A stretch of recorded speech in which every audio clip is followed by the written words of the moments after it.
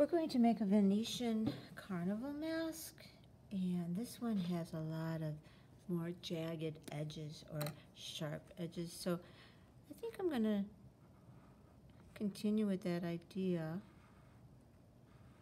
And so when you are designing your mask it's good to come up with a plan. So I am going to do these blue.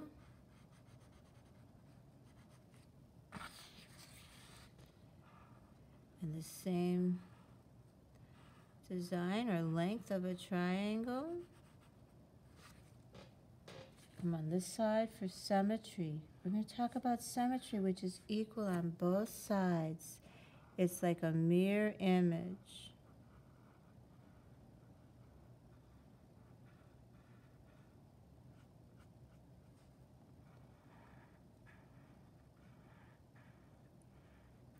See, I'm just going side by side with my broad tip. It helps you cut color in a big space. And as I'm doing this color, I'm kind of thinking of what else it is I would do on this design. So I'm going to add an orange here.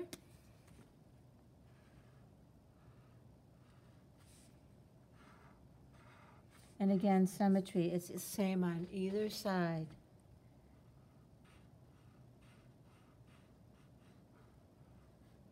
I'm not going over my blue because it would make a very strange color. So I'm being careful in coloring.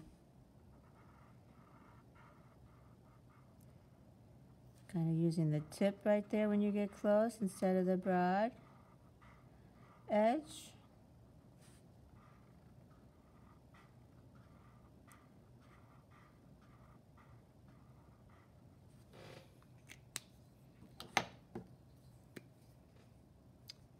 And maybe some green.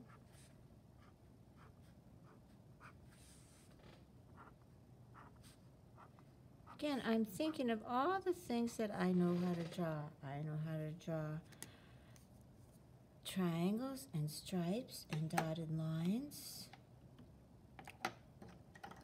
And I'm going to continue my idea of the angular line, triangles around the eyes. And I'm going to try to color very carefully with yellow inside.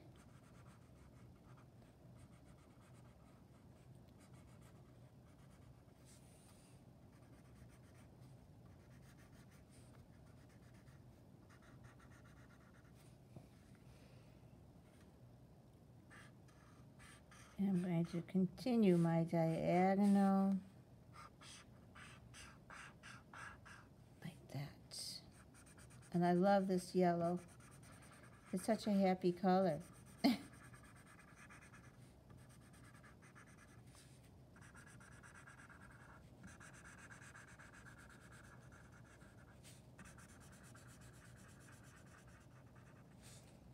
I'm not putting too much marker down just enough to make it nice and bright. And you know how I outlined this in red up there? I'm going to try that here, and I'm going to go really slow and do that. Again, I'm repeating shapes. It's so important when you do symmetry and repeating a shape, repetition. These dotted lines. Maybe I'll go under here.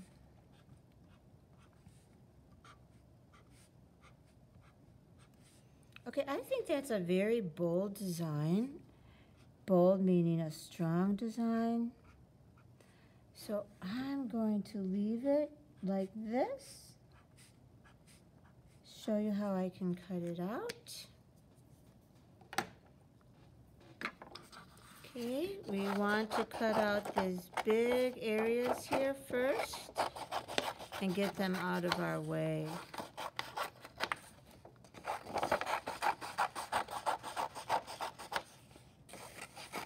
Okay, big area getting out of our way of the paper we don't really need because these dragon lines are a little harder to cut, but if you hold your hand close, the left hand that doesn't have your scissors, or the right hand, depending on what hand you use to cut.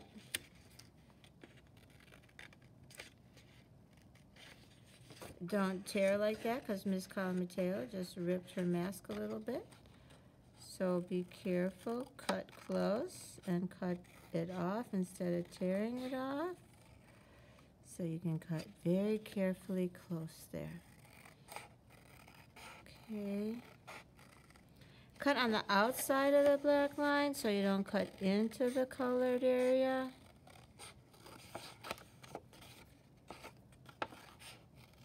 Again, I'm going slow and I'm controlling. Look at, I'm holding it behind for control of my tools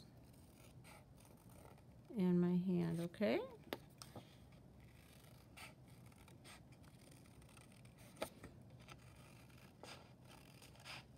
Because we don't want to wrinkle the mask, we want to keep it nice and flat. So if we don't, if we squeeze it all together and bunch it up in our hands, we're going to ruin the beautiful flatness of our mask.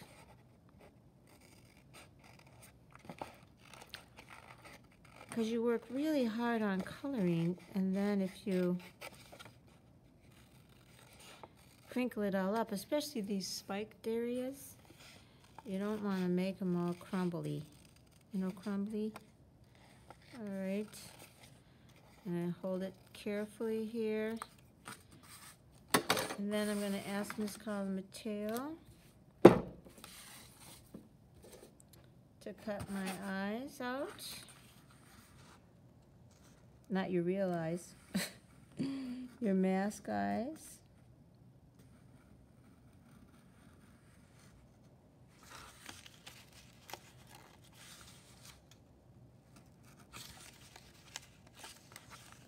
Okay.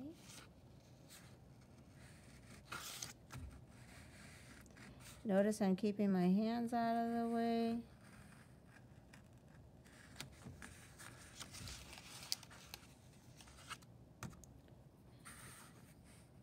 And then I am going to take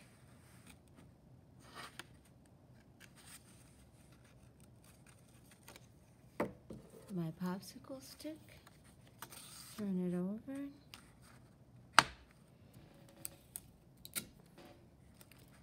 Tape it down a little bit.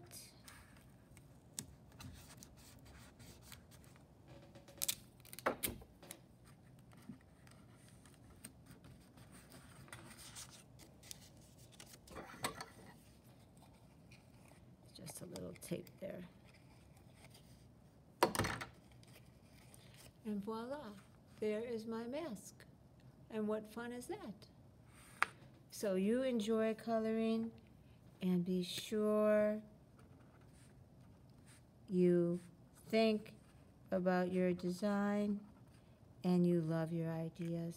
Okay? Have fun. Do your best.